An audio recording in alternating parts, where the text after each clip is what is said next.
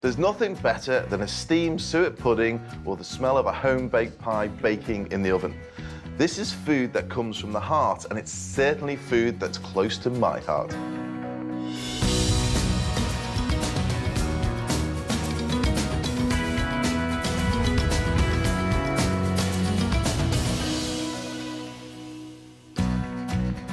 Today is all about my passion for the straightforward comfort food that generations have thrived on. Sweet or savoury, pie or pud, there's something for everyone on today's menu. Coming up, I'm baking my rich sausage plait helped by my guest, Hannah Pemberton.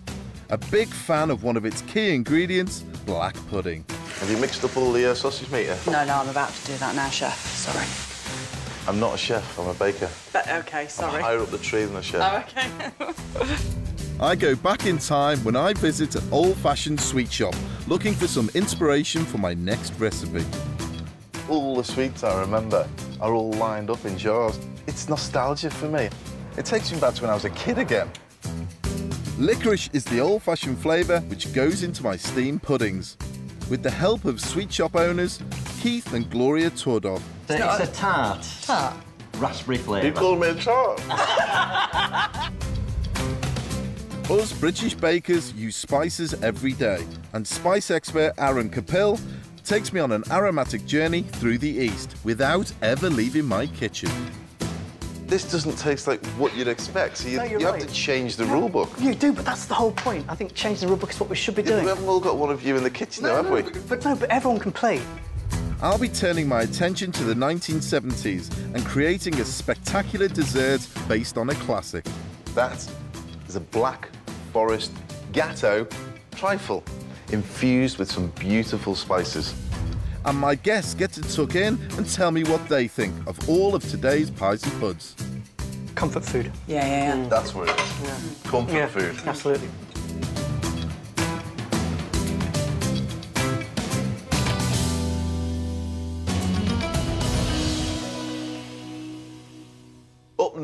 Where I grew up, the locals love their black pudding, and I do too. So I decided to incorporate it into one of my recipes and turn to the home of black pudding in search of inspiration. The heart of black pudding in Britain is indisputably Lancashire, and in particular the town of Bury. It's still made here and still eaten here, but just how the locals eat it is what I want to know. Definitely a fan of black pudding. Breakfast, definitely grilled, full English breakfast. There's no other way. I like black puddings, yes, and so do my friends as well. And uh, I I eat it, I'd have it for a, a tea, you know, for something, you know, for a snack and that. And it's very, very nice. I normally fry it. You can also boil, grill, whatever. But it's great anyway. I actually eat it with gammon, an egg, and pineapple, which sounds really strange, but is absolutely gorgeous. Black pudding has been made in Bury by one company continuously for over 100 years, and it's owned by Debbie. What makes the black pudding special is that is the re- the actual recipe itself. Um, there's lots around, but these are you know quite special. Everybody seems to like them. Making black pudding is not for the faint-hearted. Dried pig's blood and cleaned intestines are turned into nearly 2,000 tons of pudding every year. Yeah, everybody wants to make a good black pudding and they, they enjoy doing it as much as I do and I think that's what makes it so successful. Black pudding is not to everyone's taste, it's true, but even some of Britain's top chefs swear by it. I asked three local ladies who love using black pudding at home to show me step by step exactly how they like to cook it. Michelle, who lives on the outskirts of Bury, Lindsay, who lives in Leyland with their two cats and three chickens, and Hannah, who lives in Didsbury, South Manchester. Ladies, over to you. So first up, Michelle and her black pudding with scallops. First of all, I boiled a pan of uh, chicken stock and I put frozen garden peas into it with a bit of mint and salt and pepper. In the other frying pan, I fried my black pudding off, returned that to a plate, and then I put the scallops in and fried those off. I blitzed the uh, pea mash and then plated it all up. Just going to finish it off with a bit of balsamic glaze. Michelle's is a straightforward recipe and one you often find as a restaurant starter, but it's an easy and honest way of serving black pudding.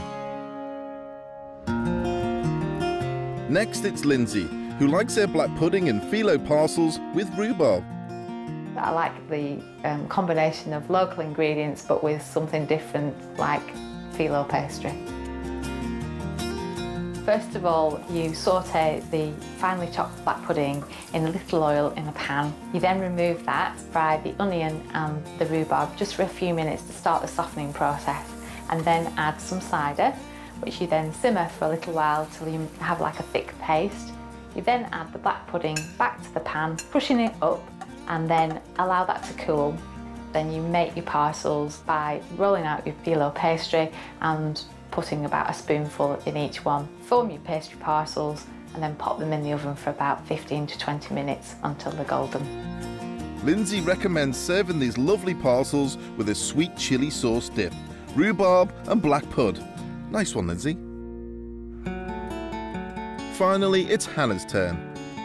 I think black pudding is a really great ingredient because it's thrifty, it tastes fantastic, and it's really nice to be cooking with something that's an offcut that would otherwise go to waste, and cooking something that's traditionally British. Hannah's making a steak and Guinness black pudding pie. Combine the onion, the celery, the carrot, and the beef. Mix those together with the stout, Worcester sauce, and a generous amount of seasoning.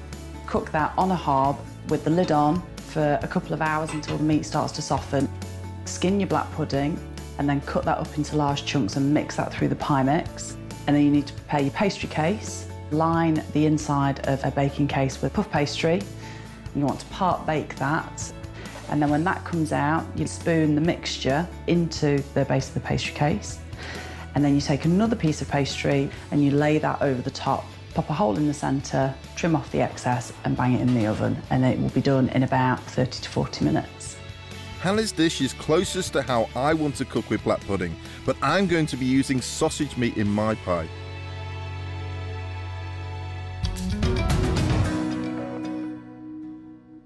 Hannah, you use black pudding in a pie like I'm going to actually. I think black pudding is more eaten in the north. They're not mm. as passionate down south. It's a slight cultural thing. Do you find that yourself? Um, I've only ever really lived in the north, so I know loads of people who are proper black pudding advocates. And you don't just eat it at breakfast; you can eat it with loads of different things. So you can stick it in risotto, or you can have it crispy with other things, or there are other interesting things that you can do with risotto. it. Risotto. Um, yeah, like you wouldn't put it in the risotto, but you might have it like um, sliced really finely and then crisped up, and you would have it dressed. Are you, saying it? Are you, are you saying it's like a northern truffle? Um, yeah, maybe a bit of a northern truffle. so there you have it. Black pudding is a northern, northern truffle. truffle. okay, now I'm going to make a poor man's beef Wellington. This is no normal sausage meat plait. Fresh buttery pastry, mushrooms, caramelised onions, and of course the deep flavour of British black pudding make this pie rock. If you could chop up that black pudding.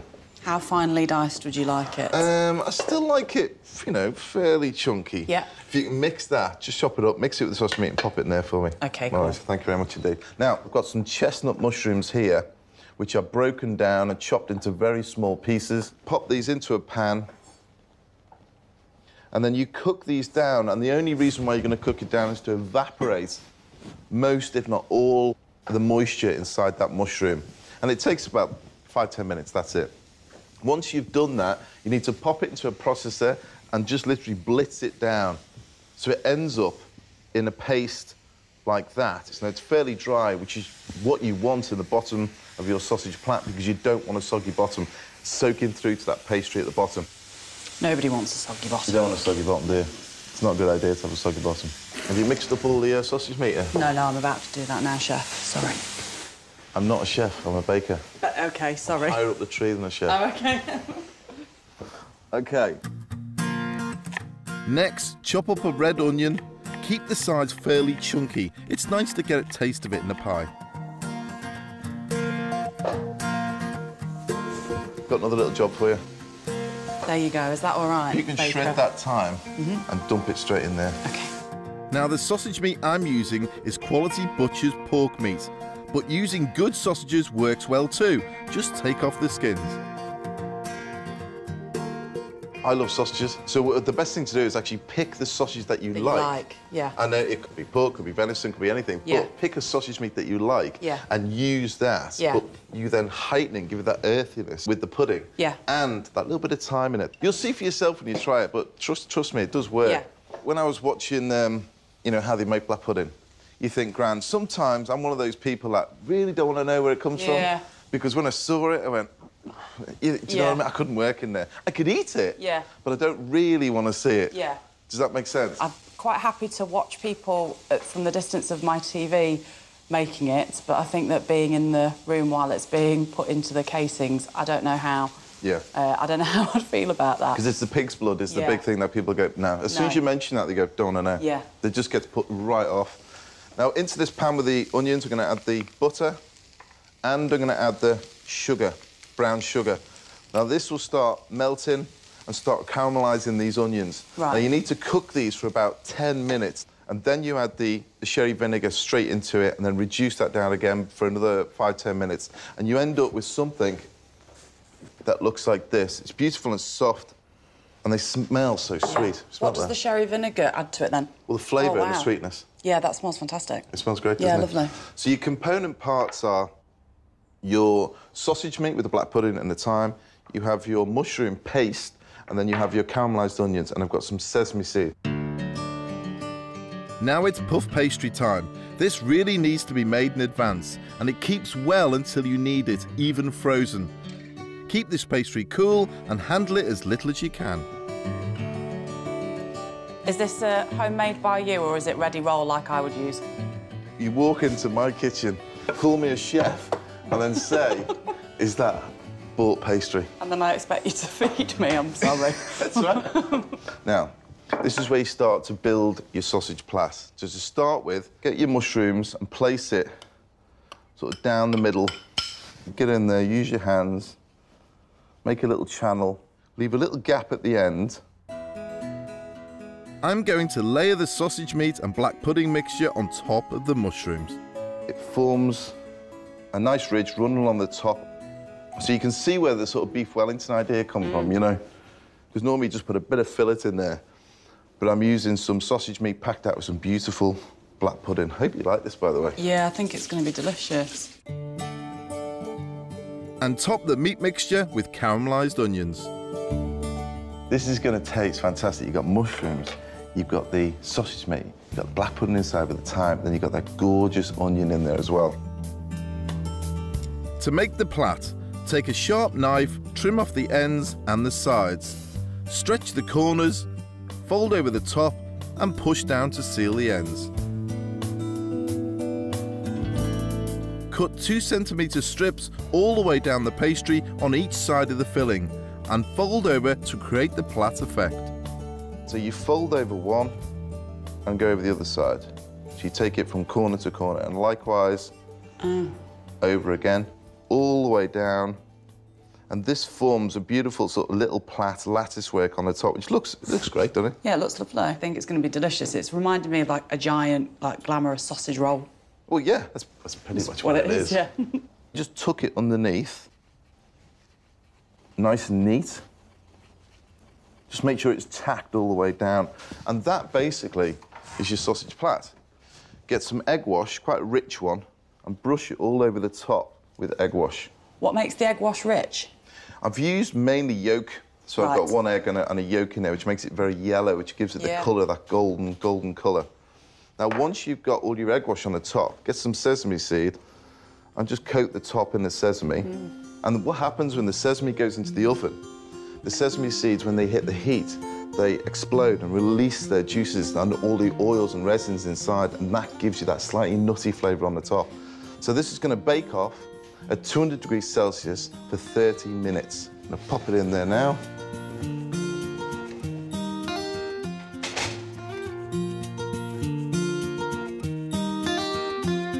You can see what's happened. It's roasted all the sesame seeds on the top. Gorgeous That's golden amazing. colour on the top. Let's take a layer. Oh, that looks amazing. And there you have it. That is a sausage plait fit for any table. Beef Wellington, you should be quaking in your wellies. This pie has everything, not just looks. The black pudding gives the mushrooms and sausage meat a deep, savoury taste, which is balanced by the sweet onions. Hannah, you're gonna have to wait a little bit longer before we eat it. Okay.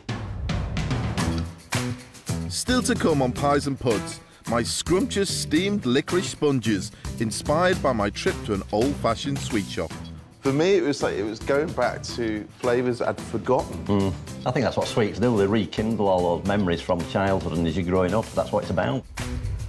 And I go back to the past again, but this time to the 1970s, bringing back an old classic, the Black Forest Gateau, made with sumptuous chocolate custard.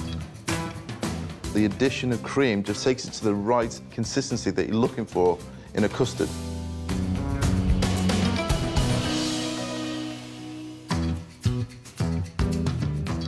First, I'm spicing up my kitchen. A huge number of my recipes use spices, and we bake with them all year round. We keep spices in our cupboards for years without thinking about them. Pepper, cloves, nutmeg. But chef turned spice expert Aaron Capel is here to tell me there's more to my spice store than I think. Hello, Hi, Aaron. Paul, how you doing? It's, it's difficult to impart to the people watching the smells Huh. that are happening at the moment. So what basically have we got here? This is like um, taking a stab at like a, an English kitchen um, spice rack, you might say. It's easy to forget that pepper is actually a spice. Aaron has brought in some pepper that is not just freshly ground, but freshly picked and imported. In this game, I have to guess what type each is. What's this? Is this That's up for you to guess now, Paul. You have to see if you can guess which ones they are. So I've got four different peppers here, and I don't know which is which.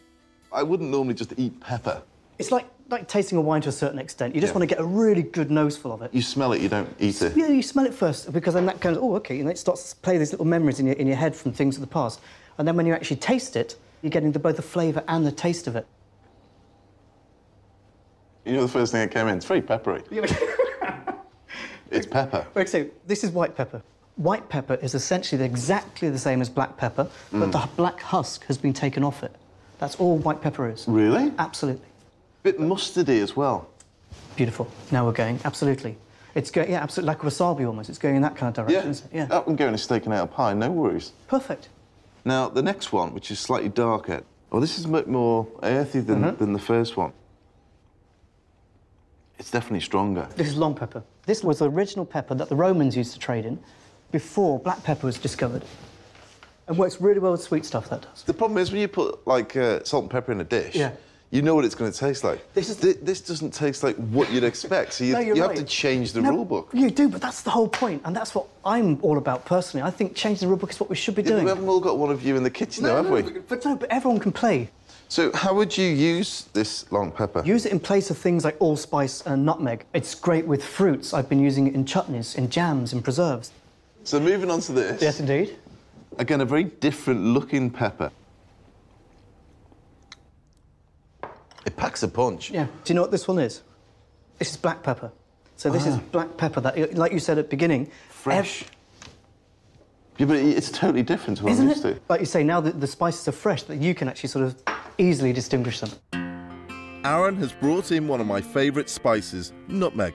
Is it a nut? It's actually a seed. It's growing just like a conker. You crack open the green shell.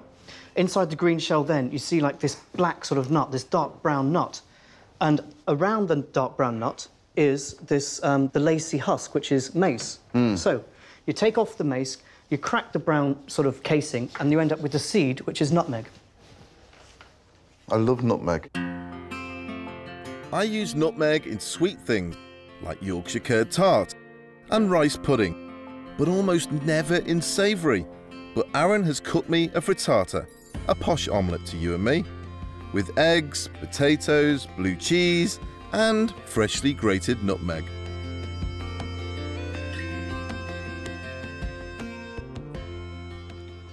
Not too in your face. No, it's not. Only just there. You get it. You get it there at the mm. end. It works well. Cloves are another spice that us British bakers love, especially around Christmas time, it seems. cloves to me have that sort of festive appeal, but to me they've got a real deep sort of fruitiness to them.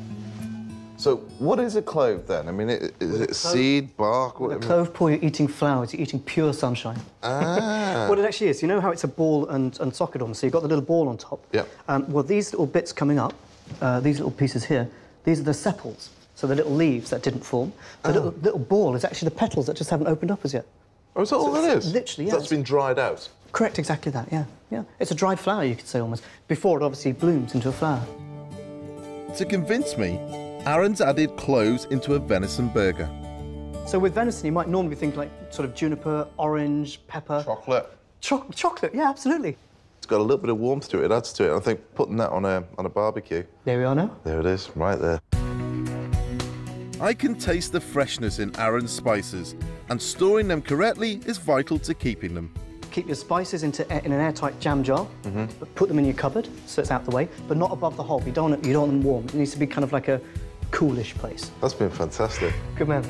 Later, I'll be asking Aaron to help me spice up a classic dessert recipe as I reinvent a favourite pudding with pepper. But first, I'm going back to being a kid again. I'm making a traditional pudding that's full of flavour and memories of my childhood. I want to rekindle that sense of fun and enjoyment we all remember from when we were kids. In Pateley Bridge, North Yorkshire, is the oldest sweet shop in England, first opening its doors in 1827. If you're looking for true nostalgia, this is the best place to start. The classic ye old penny sweet shop. Look at it. It takes me back to when I was a kid again. It's got everything in here that I'm looking for. Now I'm itching to get inside, but more importantly, I want to try my favourite sweets and find inspiration for my true nostalgic pud. The shop is a family business and is run by Keith Tordoff, Paul, and my wife, I'll introduce my his wife Gloria, Hello. And and their son Alexander and his partner Kirsty. Hello, Kirsty there. Right. This is, well, I'm a kid again. You must be a kid working in a place like this. Oh, you've got to be in a sweet shop. Absolutely. It's, it's nostalgia for me. I look around, all I see is from, when, from the age of four to the age of 14, all the sweets I remember are all lined up in jars, and I, I, they are springing back to me. I'd forgotten half of this thing. Like a lot of us, I think my first love of flavours started in a sweet shop. Toasted tea cakes. Ah, Pebbles, a school favourite. A cop cop. Do you have cough candy flavour twist? Yeah, cough. No. Yep. Sorry, I'm like a kid. I really could eat these sweets all day. Which one is your favourite? I've got to say Yorkshire mixture. I'm from Yorkshire, I'm a Yorkshire lad, and it's got a little bit of everything as a Yorkshire mixture. We've got in it the obviously the pear drop, we've got the fruit rock, and one thing that's very, very important, every single one must have a fish in it. That's tasty. Now, believe it or not, I'm here to do some serious research and I want some advice about an old fashioned flavour that would go well in a steamed pudding. I'm looking for something that's got a bit of kick to it, a bit of character to it, and something I can put in a pudding that remind me of my youth. But I think for memories, it's got to be the sweet peanut. Oh, yes. The smell, if you can smell the actual sweet peanut. It's just like a peanut, isn't it? Yeah. Mm. They're delicious, those. Peanut isn't the flavour I'm looking for, but I'm certainly enjoying reminiscing. Now, thinking of another one. Yeah. I'm thinking strawberry. I think it's got to be for memories the strawberry bonbon. Oh, it's chewy. It has got that strong strawberry flavour. One thing that has stuck in my mind, one flavour that I haven't hit, and I've seen it a couple of times in the shop, licorice. Now, licorice is one of those flavours and textures that you either love it or you hate it. Yeah. In Keith's shop, he has an array of licorice I can try. And first, I choose licorice bark. All licorice starts here. All licorice starts from the root. They grow the plant. The plant itself, above ground, grows up to about four foot in height. And this is then, to get all the licorice products, is actually boiled to extract the juice from it. It tastes like bark. Yes. It does taste like bark. It's like Yeah. chewing on a tree. Yeah, yes. But then you've got that, that sort of sharpness coming through. But I want to try licorice that's a bit more familiar. Now, you've got something there which actually is one of my dad's favourites, a Pontefract cake. Can I You try can one try of it, of course you can, yes. Just help yourself. Always got the seal on it, the stamp. Which was You can see, what is the seal? The seal was originally um, Wilkinson's Pontefract factory, and they used to always be stamped by hand, did that. Yeah. And the ladies could do about 30, 35,000 of these per day. Bit of aniseed added to it, bit of treacle added to it. That's the key thing, I think, is, is, the, is, is that treacle. Yes. And uh, treacle's been added, and you can almost, you can taste that now. Yes. When, you, when you said it, I thought, yeah, I've got that. This helps me a lot. While my taste buds take in all the flavours, it's obvious that Keith knows everything when it comes to sweets. Sugar came to the UK in the 1700s, but it was scarce and expensive. This meant those selling sweets, known as confectioners, were well thought of. In high society, the confectioner, he was deemed to be the top of his trade. The baker was classed as a mere baker. Hang on a minute. I'll tell you a story about bakers. Mayors of Pompeii were bakers. But with the advent of travel, technology, sugar be- started to become more readily available and suddenly became more affordable. These days, we don't just want our sweets to taste sweet, oh no. Kids today want something a little bit more sour. I'll show you this one. It's a super sour fizz bomb, but there was a Mark 1 and this is the very, very latest Mark When, 2. when was this done? This was literally done in the last few weeks. Really? Yes. Oh, that is quite a modern sweet then. Yeah, oh, very modern, yes, yeah. Okay. With trepidation, I'll say, can I have one, please? I'll have to give you the warning first that they are extreme and can cause irritation on your mouth. Really? Absolutely. Okay. Hmm. Is that acid? Oh. The jaw, gone? Uh, Oh, you look like you're gonna sick of that ain't good for a sweet shop. dear me. That's like, um, Battery acid. yeah. you could run a car on that. Yes. It, it, it, it feels like it's burning. Yes, yeah. While I'd recover from that super modern sweet, Keith's son Alexander is making sweets using a technique that's over 100 years old. We have some sugar here, boiling with water, bit of cream of tartar. It's up to temperature now, about 154 degrees. To make the sweets, Alexander simply works and cools the sugar mix, adding in colouring and flavours. Today, he's adding mint and aniseed. I've never done anything like this before, you know. I mean, I've, I've worked with sugar before, pulling sugar. Yeah. But not adding flavours, not really. You colours sometimes, but Yeah, not, yeah. not flavours. Yeah. That's amazing. Not to it. The smell, wow. Once the sugar mix is cooled, it's then shaped into a block, ready to go through a sweet roller. This is how they turn out. And Yeah, then when that they're cool sounds slightly, good. you just pop them all off and you've got individual sweets. You just drop them. Oh, really? Yep. That's all you do. So you just. Ah. got a nice flavour. I enjoyed that. Well, after eating all those sweets, I've finally made my decision on which flavour I'm going to put in my next recipe. It's licorice. That flavour is delicious. And that flavour in a nostalgic pudding, for me, is the one. Keith, Gloria, I had such a great time that day. For me, it was like it was going back to flavours I'd forgotten. Mm. I think that's what sweets do. They rekindle all those memories from childhood and as you're growing up, that's what it's about. Saturday morning, every morning, I'd get my pocket money about eight o'clock in the morning. And they had the penny bits there. I'd have a quarter of sweets and some of the penny sweets I'd get back. And there was occasion where I'd just eat and eat until I was sick. What a way to get there. Happened on more than one occasion. Yeah. Very colourful. I admire the necklace, but Oh, yeah. you haven't got that. You though, trumped yeah. me. Aye, I trumped you. That's But not real, though, have- is it? have a ni- have a nibble not- on that and you'll need a They're not dentist. real. Exactly. That's real. That's real. That's Ah, a yeah. proper I'm one. not swapping because it's half eaten as yours. You brought another load of sweets here. Good on you.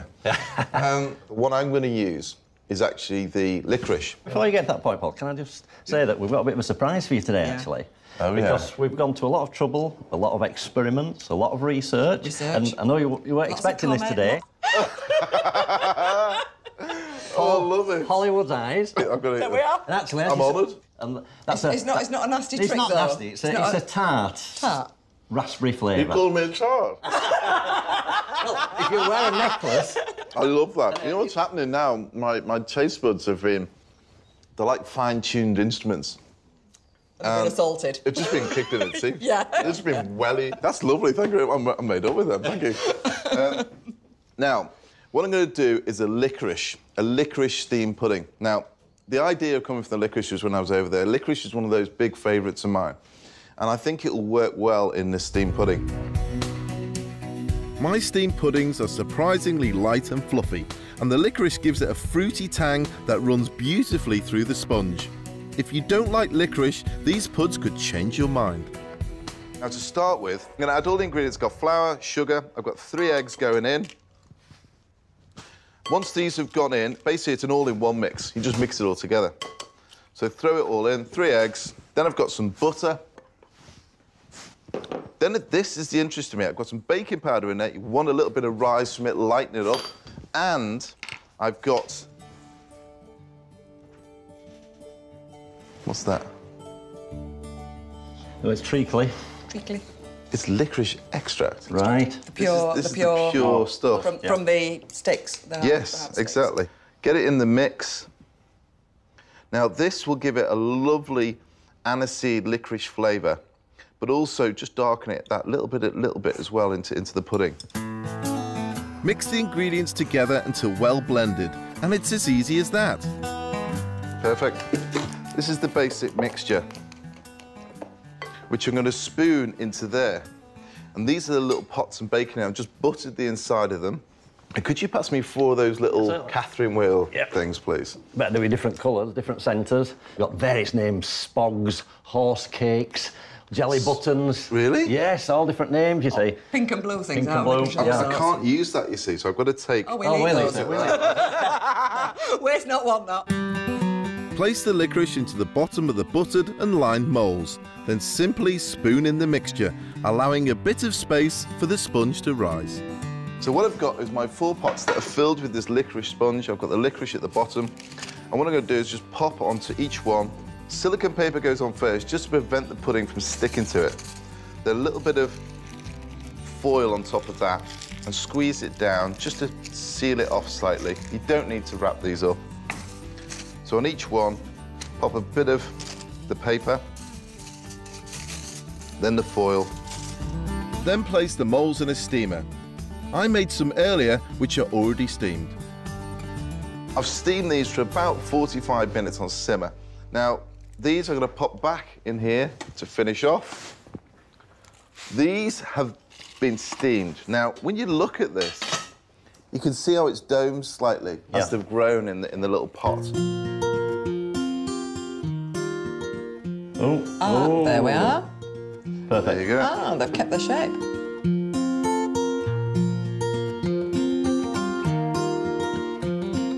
Ooh, perfect. There you have it. Licorice puddings. This wonderfully light and buttery pudding is a real winter warmer that hits the spot every time. Thank you very much, guys, because I thoroughly enjoyed myself at your shop.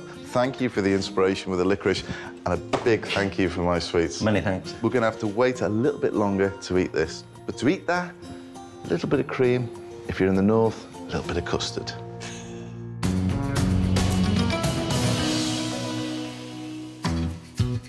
Earlier, Aaron Capil taught me a thing or two about spices.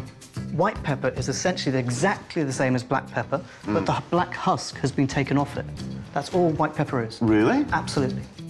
And he's brought with him some homemade blondies made with white pepper, perfect for my next dish. Now, it is a twist on a trifle. And what I mean by that is it's a 70s twist because I'm going to use the idea of a Black Forest Gateau. Now, if you're a fan of the Black Forest Gateau, a German classic dessert, then you're in for a treat. As I give it a twist and turn it into a trifle using this same combination of flavours chocolate, cherries, and kirsch. But for added effect, Aaron is going to use his knowledge of spice to add a twist to my recipe. These are the cherry and chocolate, and I believe pepper. That's right. Blondies. Yeah, absolutely. Mm, okay, we'll, we'll try them later. Good man. Um, I like the idea of it though. Cool. I'm going to utilise it into my trifle. That'll be the base of my trifle. Lovely. The first job I'm going to do is actually get my pan on and get my cherries. Now, these are the black cherries in the syrup, which I'm going to put in the pan now. I'm just going to reduce this down a little. Straight in. Now, what would you put with that? To bring out the fruitiness, cloves. If you infuse cloves into the syrup, I think that might Okay. add something to it. If I give you a little pestle and mortar... Very good. Take what you want and uh, grind it down. If you haven't got any fresh cloves, you don't have to put it in. it's just we're trying to experiment and see what it's like. I trust this man. Now, in a pan, I've got some milk and cream here, which are going to go straight in. Ooh. Bring this up to the boil. Now, have you got? Have you ground up that clove for me? Yeah, what I've done is just crushed them so they can infuse rather than going doesn't because we're going to are we going to strain it? No. Right, I'll keep going. Crush it down. Can't get the staff nowadays. OK, egg yolks in there. Caster sugar straight in. I'm going to add some flour to it, and this will be the thickener in the custard. This is known as creme pâtissière, or creme pat as I like to call it, which is thick, flour-based egg custard. And when the cream and the milk have come to the boil, you then drop it straight onto this mixture, and then we're going to put it straight back on the pan again and cook out the flour. Have you managed to see that clove I have yet? finally, Paul. Sorry, here we go. Let's have a look. Thank you. Is that okay? Oh, beautifully done, Lovely. yes. I'm going to pop this clove in with the cherries. Lovely. That should infuse quite nicely. I'll just give it a little bit of a stir. It just smell good, I'll give you Doesn't that. it? There you yeah, are, it does. OK. Now, over here, the, the milk's just boiled. I'm going to add that to the mixture. Give this a stir. This is a classic sort of creme pat, you know. It's, it, it's a classic sort of custard. Mix that in. Make sure it's all dissolved. A good technique, sir. Now, nutmeg. Indeed, sir. How much? I would say maybe just a, a like six or seven rubs. Now I've got some chocolate here I'm going to break up. Now this is going to go, this is going to turn our traditional creme pâtissière into a chocolate one. Break the chocolate into pieces and tip into the creme pâtissière and very gently stir until it's all blended in. Then pop it back onto a low heat and keep stirring. Don't walk away from it at this stage because the, the flour begin to cook out pretty much straight away. So keep turning it. And once you see it beginning to hold on the spoon, take it off the heat and put it into a bowl to chill down. And it almost sets like a jelly. You wobble it and it will begin to settle very, very quickly. That's when it's ready. Once it's chilled, the best way to do it is put um, what they call a cartouche, which is basically a circle of silicon paper on the top of that and then pop it in the fridge. Just stops it from skinning. Now, once you've done that, you end up with this. Once the mixture cooled, I added double cream to create a deliciously thick chocolate custard. Yeah, that's very good. And that's got your nutmeg in it as well. Beautiful. And it just bring out that chocolate. does, doesn't it? Absolutely, It's a great blend. Yeah. Next, drain the clove-infused morello cherries. You can smell that clove. Gorgeous, isn't it? I'll leave them over there to cool. I'm breaking up Aaron's peppered blondies a little. These sweet dessert bars will make a delicious alternative to sponge. There's white and black pepper in there. Again, now you've tasted the black pepper and the white pepper, you can see possibly why I've used both of them to try and create a balance. It's quite sweet, yeah. Yeah, One sweet. absolutely. Okay. Lovely. I love trifles. It's brilliant. exactly. I love trifle with Yeah. a passion. Probably one more will do. Then soak the blondies with kirsch. This fruity brandy made with morello cherries will add some heat and a kick to your trifle. Put a layer of cherries on there. Now here I've got some cherry jam. Again, real cherry overload here. Spread that over the top. Next thing I'm going to do is add the chocolate. Now, this chocolate mixture It's gorgeous. gets poured on. So you added This- cream to that as well? I Add a little bit of cream to it because what happens is when it goes in the fridge, it can solidify. Oh, yeah. Uh, creme pat tends to do that anyway, but the addition of cream takes it to the right consistency that you're looking for in a custard. So again, just spread it around nice and evenly across the top. bring out my mascarpone cream, mascarpone cheese, to which I'm going to add some cream to that. Now I'm deconstructing a classic 70s Black Forest Gateau. Black Forest Gateau is protected in Germany. There's Yeah. certain things you can do with it. Gosh. They'd probably go crazy if they realised I was putting it in a trifle. Whisk together the mascarpone and double cream until light and fluffy and not too stiff. Now, the cream goes on top of the chocolate. This is where you begin to salivate. I'm doing that already. Now, that is pretty much finished, but good. I've got some chocolate. It needs more chocolate.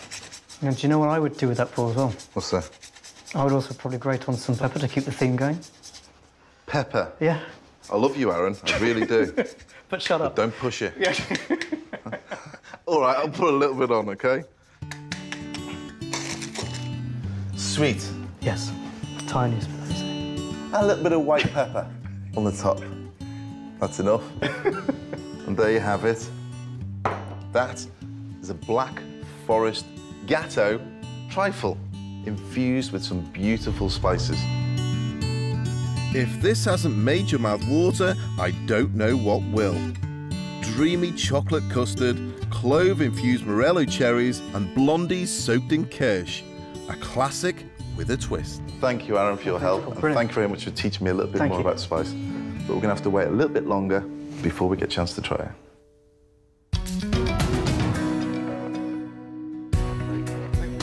My guests are ready to eat. Today, it's been all about home and nostalgia. With my posh sausage plait, a real celebration of black pudding, which I hope Hannah will enjoy. My steam licorice sponges that can be served with cream or custard, inspired by my visit to Keith and Gloria's sweet shop. And my Black Forest trifle, which brings a 70s classic right up to date, with Aaron's blondies instead of sponge, and his extra touch of white pepper. Start with the trifle is the way to go. Shall I pass it round maybe? I think we just took in, guys. I think I'll start with the sausage plait. I think I'll keep it a little bit savoury to start with. Wow. Mushroom's really good with the black pudding, isn't it? Mm. And I hadn't thought of cooking it with onion before, but it's lovely and sweet. Comfort food. Yeah, yeah, yeah. That's where it is. Yeah. Comfort food. My sausage plait has gone down well. Will my steam licorice sponges hit the right spot? I must admit, it's the first time I've ever had a, a pudding with licorice. Oh, wow. And very good. it's very good. It just gives it a, a hint of the spice, the spicy. With the sponge nice. being so buttery as well, isn't it? So licorice kind of cuts through it a little bit. Cuts through. Mm, Yeah. Beautiful. Oh, yeah, it works. That's really good, actually. With the cream, it's absolutely delicious. Finally, my Black Forest trifle. This is uh, the big fella. That's delicious, Paul. God, that's uh, cherries. Don't the cherries. that's something, isn't it? Cherries with the clove really work. Isn't it? Mm. You get that hint at the end of the clove. Just beautiful. Lifts it. In the chocolate crust, you can get the nutmeg, can't you? Just. Yeah, it can. Mm. That's a dangerous pudding. It's a beautiful pudding. I don't really have a sweet tooth. I'm not mad into puddings, but I could eat a whole bowl of that. We're going back, going back for seconds. This is what food's all about. It's about experimentation, it's about trying different flavours and pushing yourselves that little bit. I hope you'll try these recipes at home. Join me next time. See you then. Anyone want one of my uh, Hollywood eyes? Oh, yes, please. Yeah, yeah, please. Make it two.